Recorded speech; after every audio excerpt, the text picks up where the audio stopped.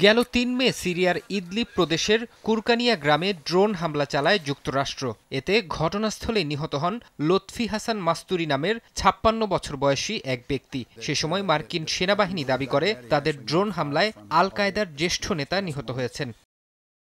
তবে ড্রোন হামলায় নিহত ব্যক্তির পরিবারের দাবি, কোনো জঙ্গি সংগঠনের সঙ্গে যোগসূত্র ছিল না লতফির বরং হামলার সময় তিনি মেষ চড়াচ্ছিলেন। ওই এলাকার আশপাশে আইএসের তৎপরতা নেই বলেও জানিয়েছেন স্থানীয়রা। এমন দাবির পরিপ্রেক্ষিতে অভিযোগের বিষয়টি তদন্ত করে দেখার আশ্বাস দেয় যুক্তরাষ্ট্রের সেন্ট্রাল কমান্ড সেনকম। পরে এক বিবৃতিতে জানানো হয়, হামলার ঘটনা খতিয়ে দেখা হচ্ছে। ড্রোন হামলায় বেসামরিক মানুষ হতাহত হতে পারেন এমন অভিযোগ সম্পর্কে সতর্ক আছে বলেও নিশ্চিত করে সেন্টকম সিরিয়ার সন্ত্রাসী গোষ্ঠীর বিরুদ্ধে দীর্ঘদিন ধরে ড্রোন হামলা চালাচ্ছে যুক্তরাষ্ট্র। তাদের দাবি, নির্ভুলভাবে এ ধরনের হামলা চালানো হচ্ছে। তবে মার্কিন সেনাদের এসব হামলায় সন্ত্রাসীদের পাশাপাশি বেসামরিক মানুষও প্রাণ হারাচ্ছেন বলে প্রায়ই অভিযোগ করছে বিভিন্ন মানবাধিকার সংগঠন, পর্যবেক্ষক সংস্থা ও গণমাধ্যম।